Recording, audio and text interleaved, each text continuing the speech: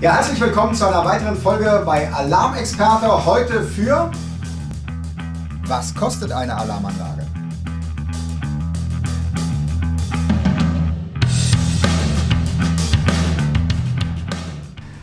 Herzlich willkommen bei Alarmexperte zu einer weiteren Expertenrunde mit Marco. Grüß dich, Marco. Hallo Christoph. Hallo. Wir haben heute eine Frage bekommen, was kostet eine Alarmanlage? Kannst du uns dazu was sagen? Ja, sehr gern. Ist natürlich eine sehr wichtige Frage. Die lässt sich pauschal nie beantworten. Okay. Auf der einen Seite kommt es natürlich darauf an, für was für ein System entscheide ich mich. Das bedeutet, möchte ich eine kabelgebundene Alarmanlage oder beispielsweise eine Funkalarmanlage? Habe ich ein bestimmtes Fabrikat oder eine bestimmte Firma, die ich mir aussuchen möchte? Und das Wichtigste ist natürlich, was möchte ich alles absichern lassen? Also wir haben ja hier die Möglichkeit, haben wir in dem anderen Video hier schon gesehen, dass wir Fenster-Tür-Kontakte nehmen können. Genau. Für die Außenhautabsicherung bedeutet für alle Fenster und alle Türen. Dann haben wir ein Video gesehen über den Bewegungsmelder. Das ist hier. Das ist, oder die sind für die Innenraumüberwachung.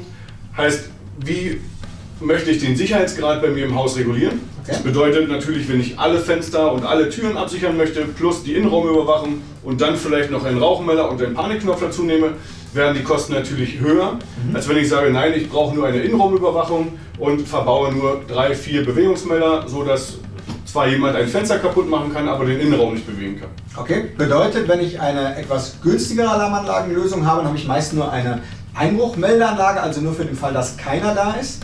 Und wenn ich jetzt viele Fenster-Tür-Kontakte habe, dann kann ich auch absichern für den Fall, dass ich eben zu Hause anwesend bin, beispielsweise wenn ich schlafe oder ähnliches. Das ist natürlich auch ein sehr wichtiges Thema.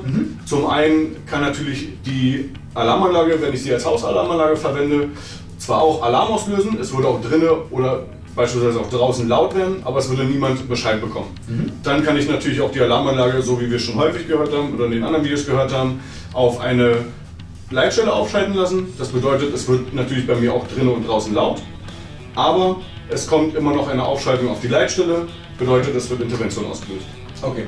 Bedeutet, im Grunde genommen muss man sich jedes Objekt einzeln anschauen und kann dann erst sagen, was denn tatsächlich für einen Preis am Ende bei rauskommt. Und der Kundenwunsch ist natürlich auch Und der. Kundenwunsch, genau. Welches Sicherheitsbedürfnis habe ich, das entscheidet den Preis. Alles klar. Danke, Marco. Gerne.